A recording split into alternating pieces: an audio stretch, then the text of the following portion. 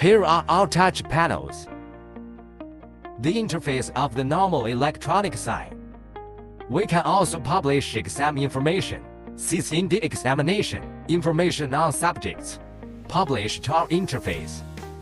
We also support graphic publishing. Post the picture to this. After clearing, it will return normal interface. Let's take a look first, student attendance. We click on student attendance. On the left side, course information will be displayed. Students can scan their faces or use the card to sign in.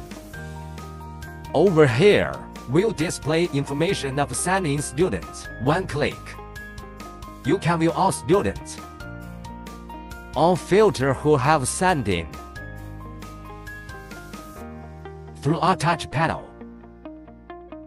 The school's open study rooms. We click on the study room. You can see the time period. The occupancy rate. reaches 16%. You can also see every study room.